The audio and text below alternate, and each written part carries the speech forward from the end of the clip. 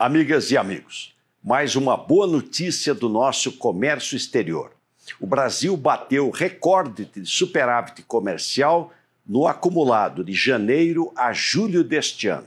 Exportamos 54 bilhões de dólares a mais do que importamos.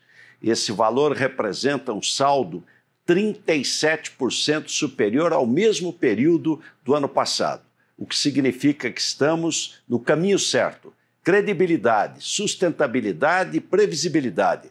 É com esses ingredientes que estamos fazendo a economia brasileira melhorar dia a dia os seus indicadores, gerando emprego e renda para nossa população.